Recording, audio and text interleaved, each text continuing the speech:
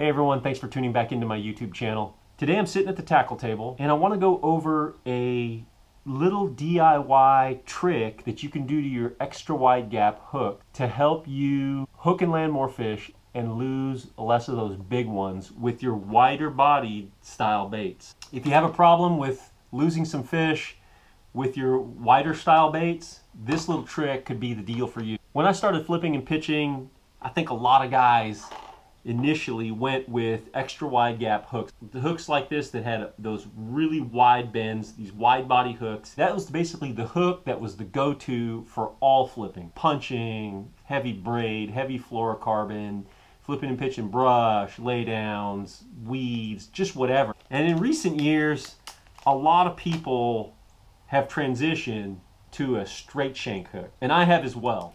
But there are times when an extra wide gap hook is something to go to, and I recognize that not everybody, a lot of top pros, I'm talking about top 20 percenters, you know, big name pros, still really like an extra wide gap hook. And I say that not because I think they're wrong. I just realize that there's a difference of opinion no matter what it is. Some people say crank with fiberglass, some people say crank with graphite, some people say gotta snell your hook when flipping, some people say no, you don't. Other people say the best knot in the world is the Palomar. Other people say, you know, Eugene slip knot, like I do, or a San Diego jam is the best with fluorocarbons. There's always going to be debates in fishing. And this is one of them, whether it's straight shank or an extra wide gap hook. For guys that really like an extra wide gap hook, I really like this one. This one's the uh, the jungle wide gap, silky gray finish, which is like basically like Teflon. This one also comes with a sealed eye, incredibly sharp needlepoint hook. And one of the things I think that makes this hook great as far as rigging heavier, thicker, soft plastic baits is this bend here. This elbow here, you basically have like a Z bend where some of them are just straight angles. Bait wants to slide right off of there and create ball ups. If the bait slides down that hook, but it actually kicked that bait up on top, and what you essentially end up having is a lost fish. Let me demonstrate that. You get a bite, you set the hook and initially the point pops through and you get the business end exposed. But what can happen is because of the the pressure of the fish's mouth like this, he's going to slide that down and that's the beauty of this. It just wants to stay right there. But sometimes it slides past that, that plastic wants to kick up, and sometimes what you end up getting is that scenario right there where you bury your hook back into the plastic and that's usually ends up in a lost fish. Specifically with tubes. I know a lot of guys quit throwing tubes because they lost too many fish on them. Beaver style baits like these Strike King Rodent, your hog type baits like this Strike King rage hog. These types of baits have a tendency to want to ball up on the hook. And I think you get away from that with a straight shank. But again, I also know that not everybody feels that way. There's some incredibly successful fishermen that really like that extra wide gap and I, I don't blame them. It, it's, it's, a, it's a great mousetrap. However, getting into it, I make this little keeper that is not my design, it's not my idea. I saw other guys, I learned from somebody else just like I'm about to share with you guys a way to make this little DIY keeper that I think would be great if you like extra wide gap hook. You can put them on a straight shank hook for that matter. The first thing you're gonna need some stainless steel wire. Got this one at Bass Pro Shops. It's 80 pound. I think you want something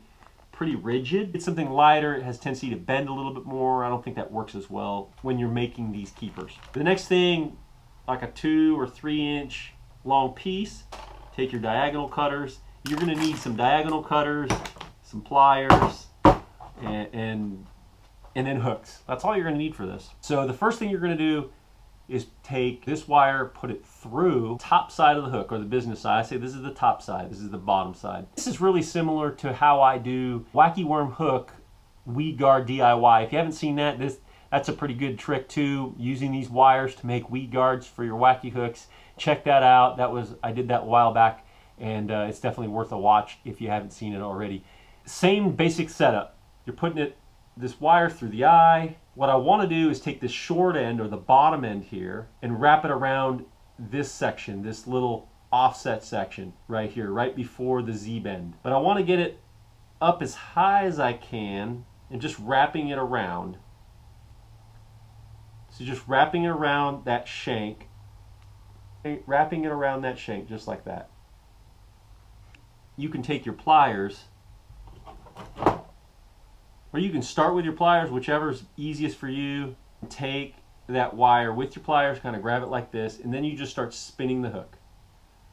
And you want to keep these wraps as close together as possible. I just think it makes it a, just a better overall presentation. Wrap it around, get about four or five wraps, and that's pretty much all, all you need to do there. Then you want to cut off this little, this little piece here, the little tag end, so to speak. Try to grab that tag end when I'm cutting it, or cover it, cover my, cover your eyes. That thing will shoot out, hit you in the eye. If you drop it on the floor, if you're walking around barefooted, that'll also won't feel very good. I stabbed myself earlier with a piece of wire. Once you cut that, there's still a little burr hanging out there. I just go ahead and mash that down. I try to slide it up the shank toward the eye. Just kind of accordion that whole thing. Push it up there nice. And so basically that's what you've got so far. And then you're going to take this piece and bend it over.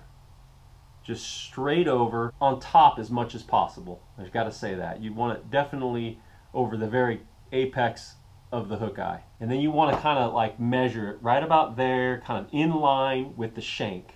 And right past where that elbow is is where you want to put a little bend in it. Not much more. Just i mean just just past it. Again remember not a whole lot that's too specific about this. Is just kind of a diy backyard in the boat hook keeper design. Kind of like that. Just past the elbow.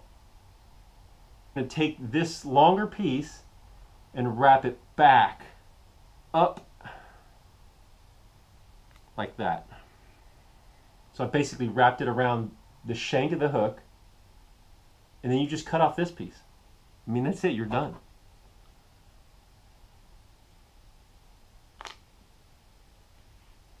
That's my little DIY. I say my, I learned it from somebody else. I think the very first time I saw it was Jason Quinn. Eagle Claw makes a little hook clip like this called the HP clip and that's the first person that's ever made it. It's like a Shaw Grigsby HP clip hook. You want to save yourself some time and you like to tinker like I do, uh, just get some of this 80 pound wire and you can do this. Really simple.